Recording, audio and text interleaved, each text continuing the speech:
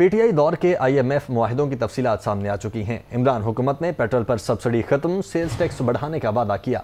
सबक हुकूमत ने पेट्रोलियम लैबी की मद में अरबों रुपए वसूल करने का ऐलान किया था। पीटीआई हुकूमत ने 2019 में आईएमएफ से मुआहदा किया।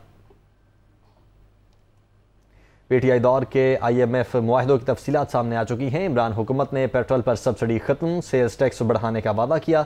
सबक हुकूमत ने पेट्रोलियम लेबी की मद में अरबों रुपए वसूल करने का ऐलान किया था, जबकि पीटीआई हुकूमत ने 2019 में आईएमएफ से मुआहदा किया था।